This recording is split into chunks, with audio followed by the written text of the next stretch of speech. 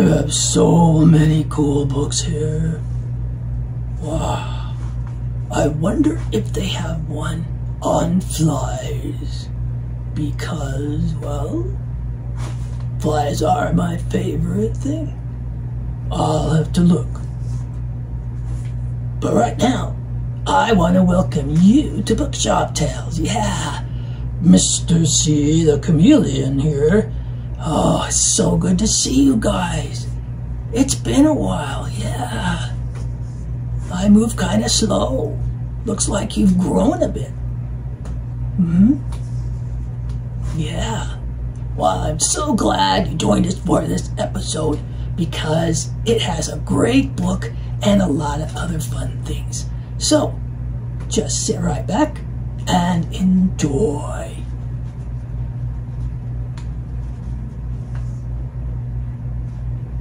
Is that a fly on the ceiling? Hello, my friends. Oh, look at all of you today. I'm so happy to see my friends. I hope you are all having a really great day. Thank you so much for making Bookshop Tails part of that day. We're always happy to see you. I came here today to have some fun. W- would you like to have some fun? You would? Oh, that's great. I was going to do the monkey dance. You, you don't know the monkey dance? Oh, would you like to learn it?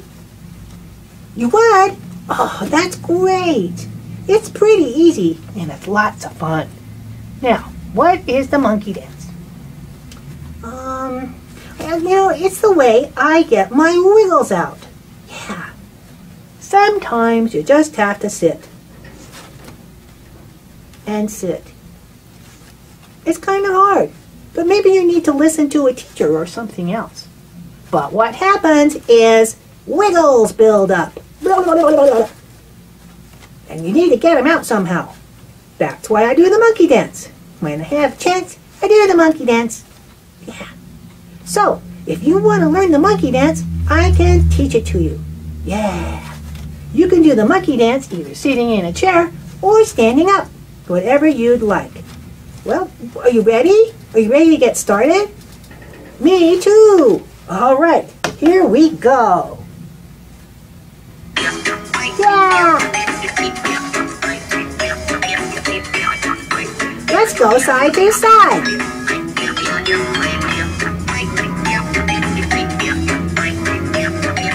One side. And the other side.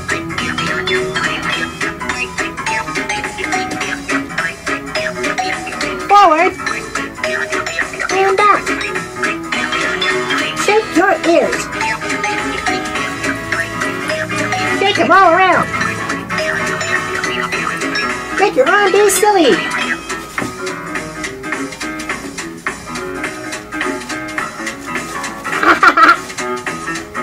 Switch your arm if you want to.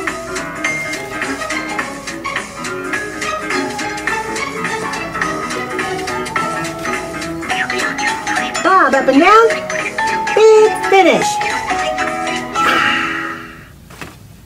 Wow. You guys had never done the monkey dance and you did it perfectly. I'm so proud of you. Yeah. Thank you so much for letting me teach that to you. And remember, when you have a chance, do the monkey dance. Now, just make sure that when you get your wiggles out, you're in a safe place. You're not going to crash into anything or break anything or bother people. That's the best way. Well, I am so glad to see you today, but it's time to say goodbye. I'll see you soon, though. Bye bye. Oh, oh, let me make sure my whiskers look good. Yeah, I can, yeah, I can kind of wash, wash this ear a little bit more. Mhm. Oh, yeah, that looks better. Yeah. What? What? We're rolling? Oh. Ha ha ha ha, sorry. Um. Hello. I'm Max the cat, and I'm here to read you a great story today by Susan Cooper. Uh, it, it's called A Pipkin of Pepper. Mm-hmm, that's the title, and it's published by Scholastic Books. I love this book because there's a cat in it. Yeah, the best books have cats. The best books have cats. Yeah. All right, can't wait to get started. Something was bubbling in the old white cabin. What was cooking in the pot?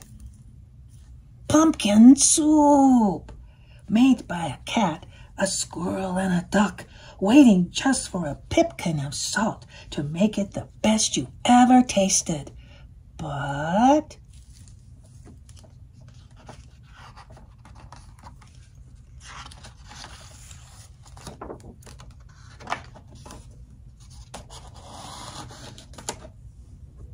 No salt left, quacked the duck. They'd run clean out. And it was true. There wasn't a grain, not a speckle of salt to put in the pumpkin soup. Would it taste good? No. And they're all going, blech, blech. The cat said, I'm going shopping. Oh, please, begged the duck. Let me come too. But the duck hadn't been to the city, and he had a habit of wandering off. What if you get lost? said the cat. I won't, squawked the duck, and if I do, I'll find a police dog. You'll never find a police dog, said the cat. If you're ever lost, said the squirrel, the best thing to do, stay where you are, and we'll find you. That's good advice.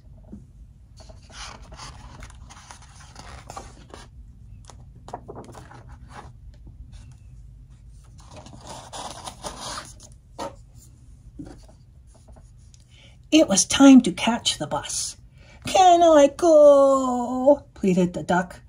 Can I go? he said. And he wiggled and he wheedled and he bobbed and he begged until the cat said, All right. If you promise to hold on tight. And I'll come too, said the squirrel, and hang on to you. Oh, there they go in the bus.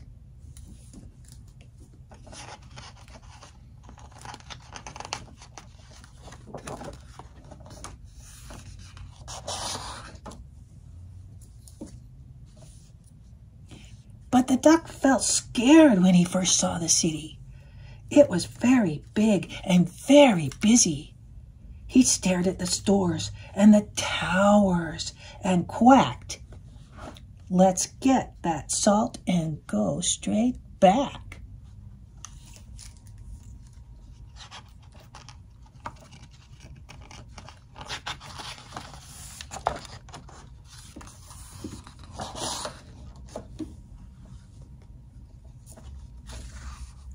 Hold on tight, said the squirrel. The salt shop isn't far from here. And the cat led them past more towers and more stores selling all sorts. Puddings and pastries, pilchards and prawns, lobsters and light bulbs. And pizza. Mm. And pepper. And that gave the duck an idea. Wouldn't it be fine, he murmured, if we bought some pepper for the pumpkin soup? I'll bet it would taste.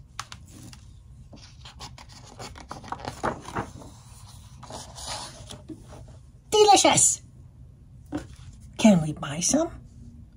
Pepper, squeaked the squirrel. We don't need that. There's the salt shop, said the cat. We have a job to do, and we don't want to miss the bus back. You see, cats are very trustworthy, logical creatures. Mm -hmm.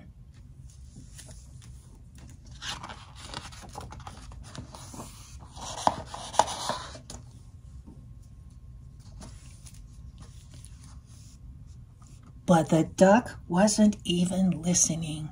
He was thinking about pepper for the pumpkin soup. One pipkin, would that be enough? He turned around to ask, But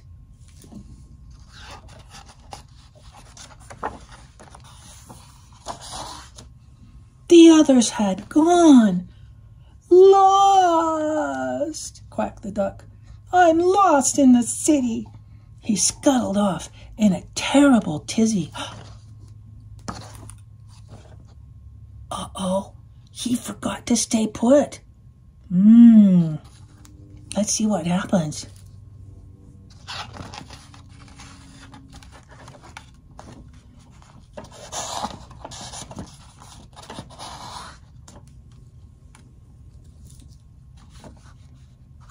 Inside the salt shop, the cat and the squirrel were busily buying a small bag of salt. They didn't even notice that Duck was missing until the salt was paid for and packed. Where can he be? howled the cat, and the squirrel wailed, Where did we see him last? At the pepper shop, they both said together, and they hurried back.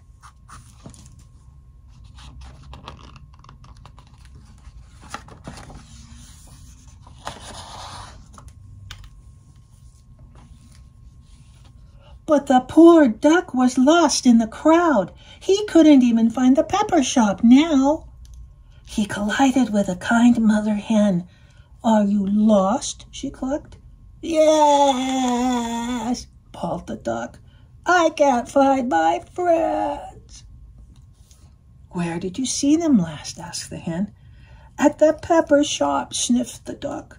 And I should have waited there until they came back but I forgot. I know the shop, said the hen, and the pepper dog might have seen your friends. Let's go ask him.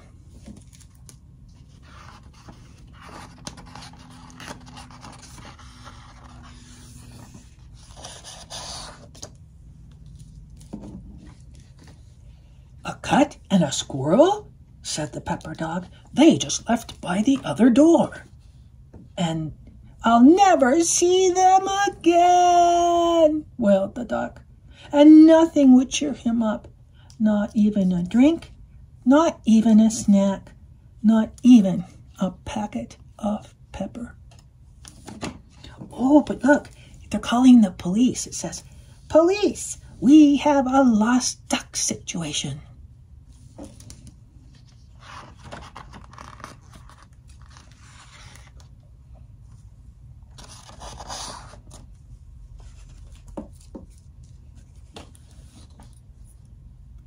Hush, said the hen. We've dialed 911. Any minute now, they'll come right through that door.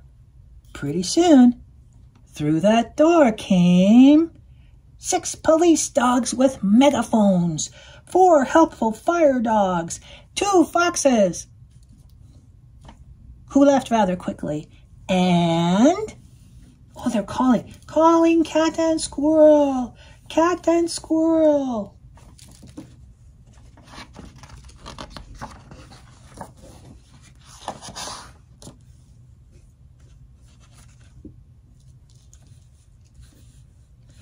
The squirrel and the cat.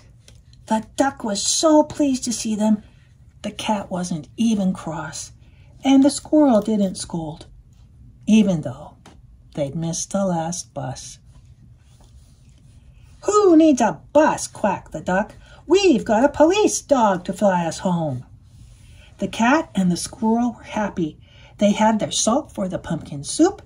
As for the duck, he had his packet of pepper. He held on tightly all the way back.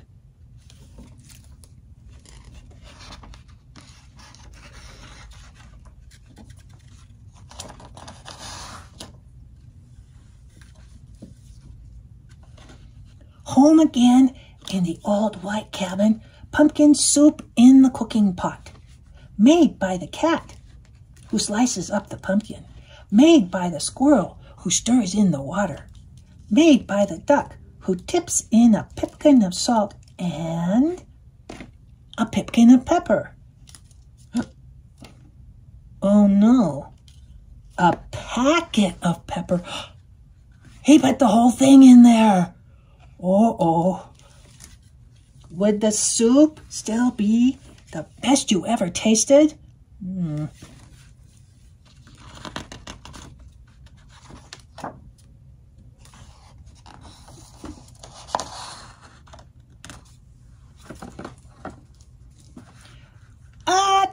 Delicious.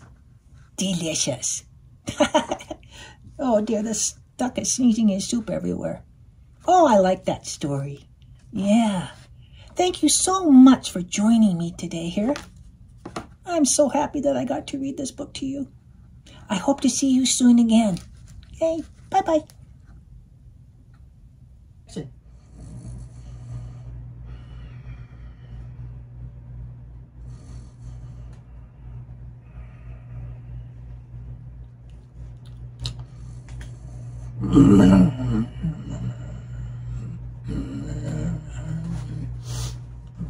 Oh, sorry. I was taking my daily nap.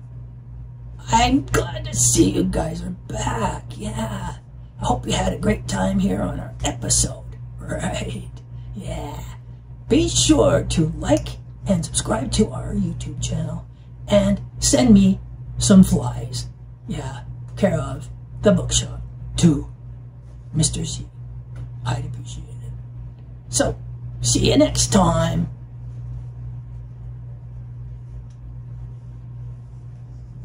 Oh, bye.